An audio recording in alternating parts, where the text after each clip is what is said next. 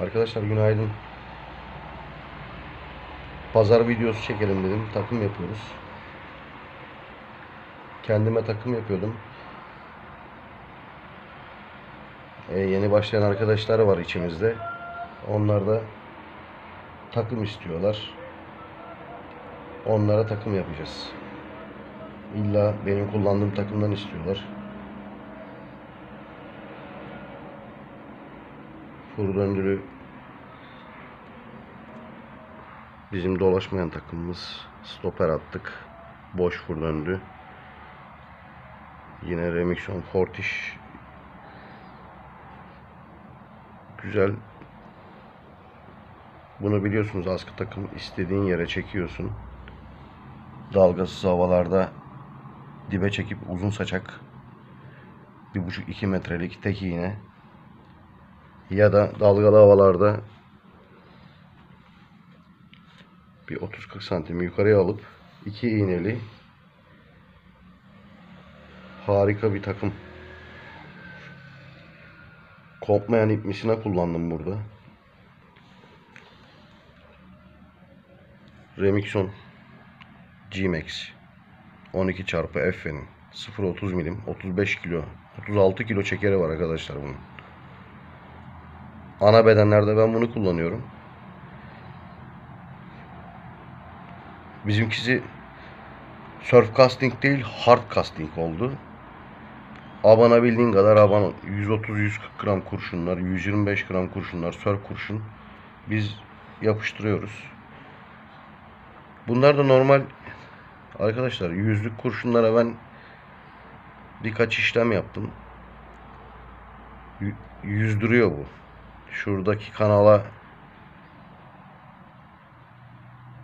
vurmuştum. Şimdi arkadaşlara bu takımları yapacağım. Artık kendim de surf kurşun kullanıyorum.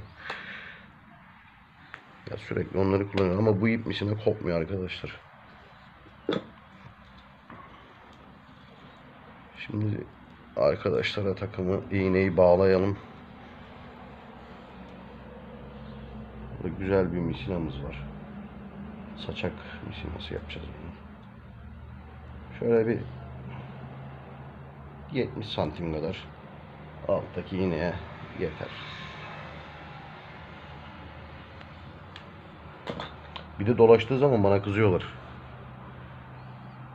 Adam diyor ki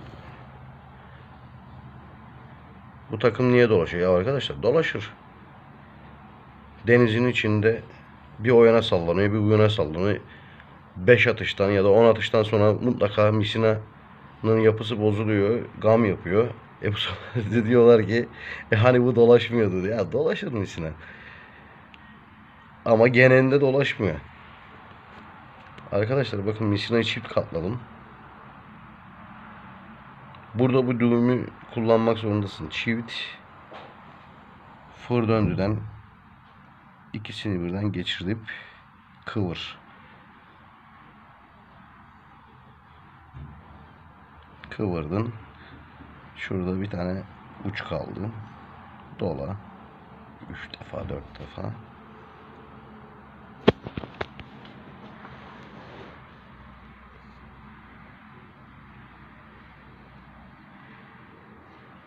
Sonra bu halkadan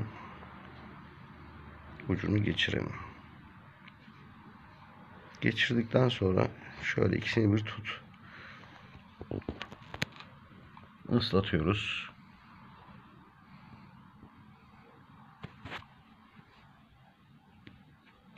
Çektik arkadaşlar. Harika bir düğüm.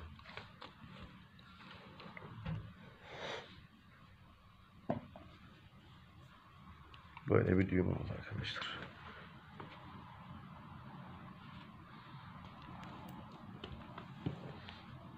Elleme boncuğumuz geldi.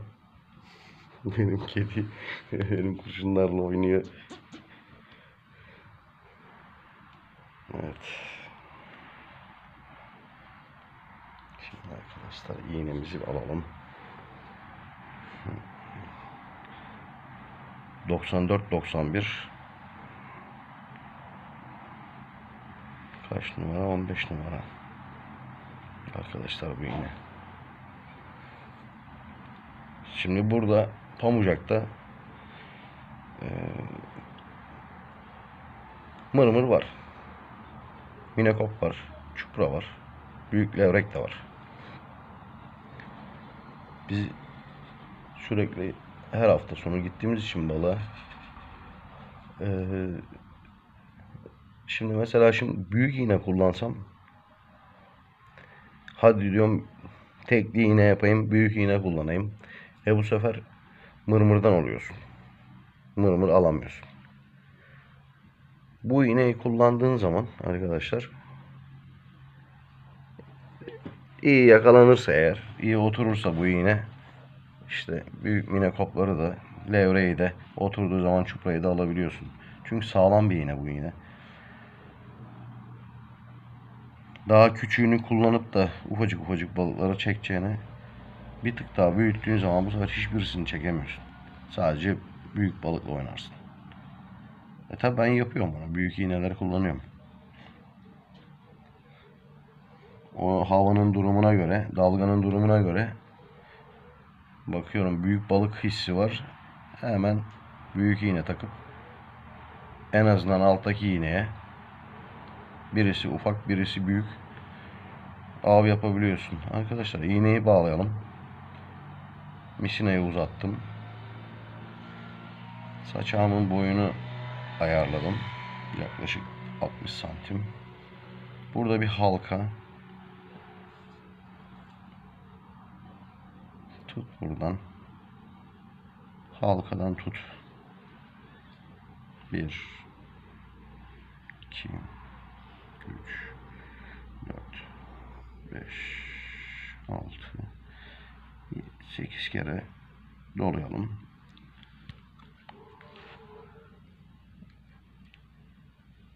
Hem ıslattım hem de çektim. Şöyle.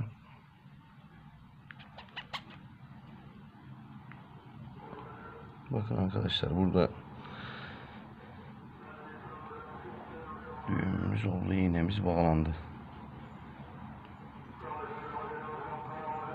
Güzel bir düğüm. Şurayı 3-4 milim uzun bırakıp kes.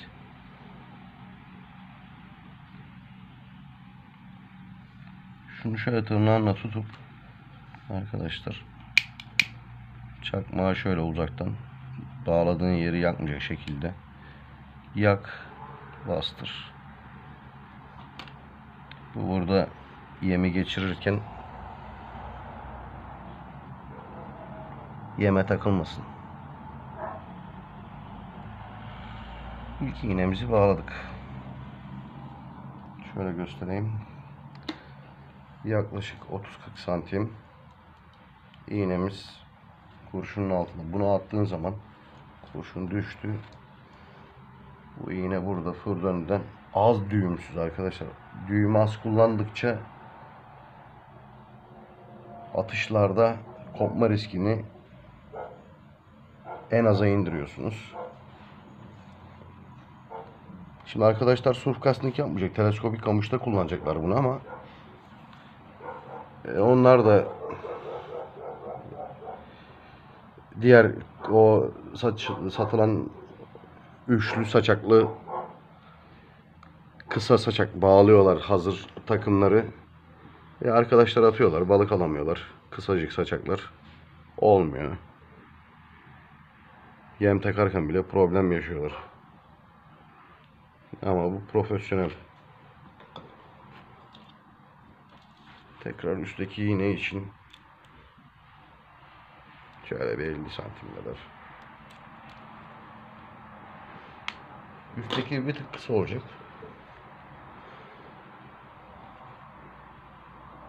Yine çift katladık.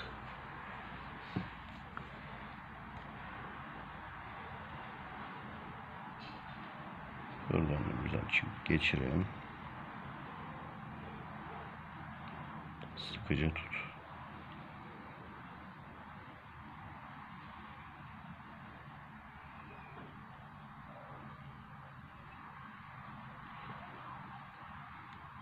Arkadaşlar Cuma günü akşamdan gittik. Zeytinköy'de bizim kendi av yaptığımız, sürekli av yaptığımız bahsettiğim işte balık aldığımız yere gittik. Ee, o gün deprem oldu. Akşamüstü. Tabii biz ava mecbur gitmişken dedik devam edelim. Sabahladık. Gece 12'den sonra 3 tane çok sağlam vuruş aldım arkadaşlar. İğne küçük olduğu için balığı kaçırdık. Sonra büyük iğne kullanmaya başladım ama e, geçti artık. Bir kere tosluyor çünkü. Çok büyüktü arkadaşlar. Bildiğiniz benim o oku- okuma trio kamış fena bir şekilde yattı. 2 metre saçak vardı arkadaşlar. Bütün boru kurdunu şişle geçirdim. Ona tosladı. Balık resmen aldı gitti kalamayı cayır cayır söktü. Yüklendim ama bıraktım ettim. 15 dakika mücadeleden sonra balığı kaçırdık. Tabii üzgünüz o yüzden. Sonra arkadan iki defa daha tosladı.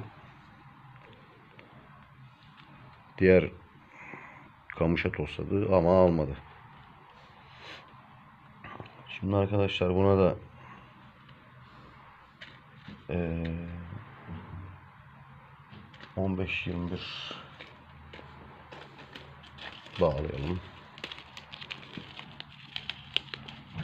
Üstteki iğneye de 15-21 yapalım.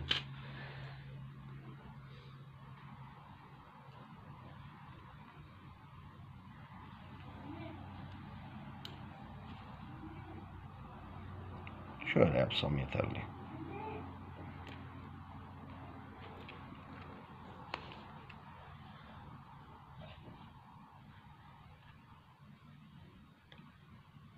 İnşallah takım yaptığımız arkadaşlarım balık alırlar.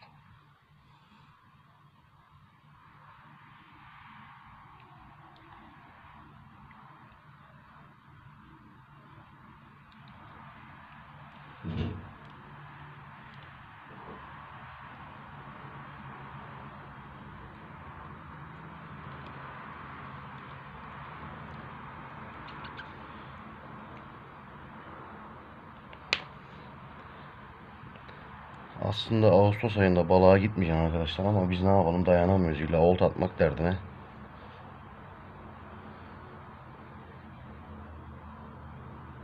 Gidiyoruz. Derdimiz olta atmak, balık tutmak değil. Balığı nasıl olsa tutuyoruz.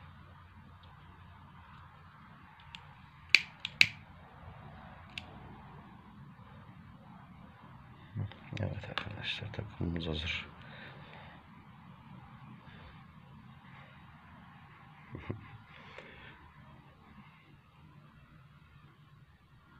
Halil abimiz inşallah balık alır bununla.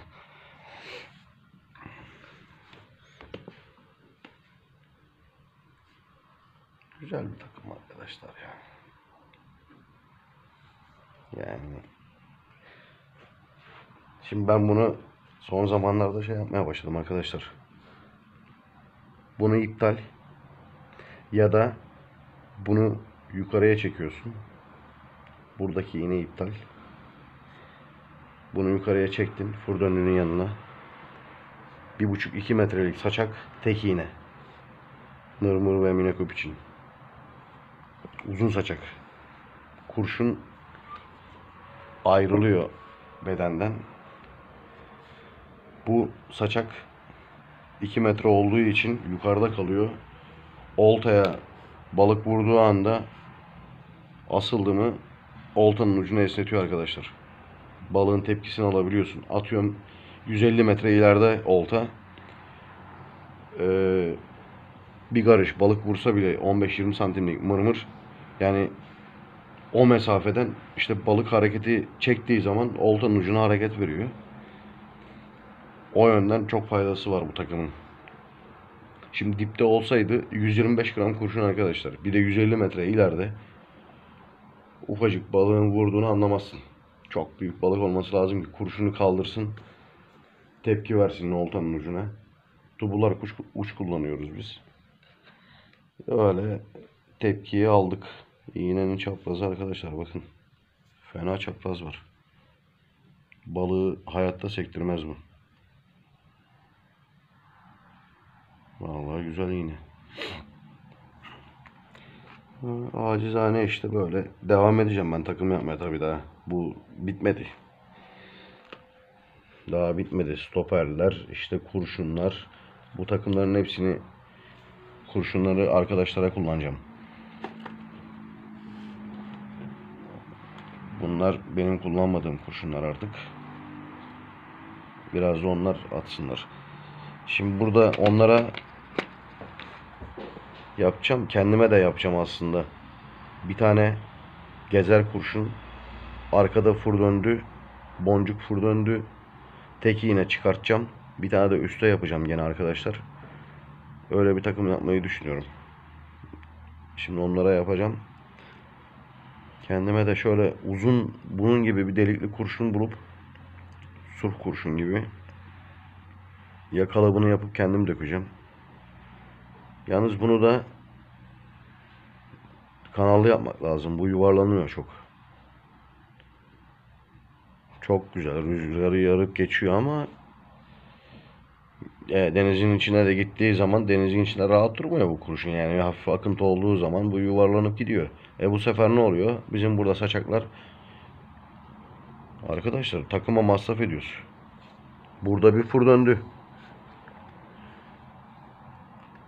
Bunu mesela teli kıvırmış yapmış. Ben o şekliyle bırakmıyorum ben bu kurşunu arkadaşlar. Evet. Bu kurşun bize satılan yerden böyle geldi. Ben bir tane fır döndü. Makaron takım dolaşmasın diye arkadaşlar bu. Denizin içinde kurşun dolaş yürüse bile kumun üstünde yuvarlansa bile benim burada bu dönüyor. E yukarıda da bir fır döndüm var. Çift fır döndü. E, aralarda fır döndü attık. Bu da burada kendi ekseni etrafında böyle dönüyor. Takımları hani dolaşmasını en aza indirdik. Şimdi bu böyle bu şekilde olmuş olsaydı arkadaşlar yukarıda tek fır var. Bu burada döndükçe yukarıdakine şey gelene kadar buradaki iğneler olduğu gibi böyle dolaşıyor. Bedene. Bedene dolaştığı zaman da ne o balık görür onu yemi ne bir şey görür. İşte takımı böyle yapıyoruz biz. Mis. 10 numara. Yalnız işte bunu muhtemelen kalıbı kendim yapacağım. Şuralarda oyuklar olacak. Düştüğü zaman kumun içine oralara kum girecek. Kum batacak işte. Aynı kalıp şeklini alacak. Muhtemelen yuvarlamayı engellemek için. Ya da hafif yassı gibi. Öyle bir şey düşünüyorum. Bakalım inşallah yaparsam bakacağız, deneyeceğiz arkadaşlar onu. Yalnız böyle bir uzun delikli kurşun ortasından mişinayı geçirip dediğim gibi boncuk esnek boncuk basıncı alsın diye fır döndü. Burada tek iğne bir metrelik bir saçak gerekirse tek iğne olarak kullan. Bu da ne oluyor arkadaşlar? Dibe oturuyor. Bunu daha önceki videolarda ben göstermiştim. Yapmıştım o takımı daha önce. Balık buradan mişinayı çektiği zaman kurşun kalıyor yerde. Çekiyor götürüyor. Oltanın ucu eğiliyor. Anlıyorsun ki balık var. O öyle bir takımdı. Daha onu geliştireceğim ben. Daha iyisi olacak inşallah. Arkadaşlarım ben takım yapmaya devam edeyim. Ee, İnşallah yaptığımız takımlarla rast gelir. Balık alırız arkadaşlar. Yine biliyorsunuz balıkçı dostlarımı her zaman duyarlı, herkese duyarlı olmaya davet ediyorum ben.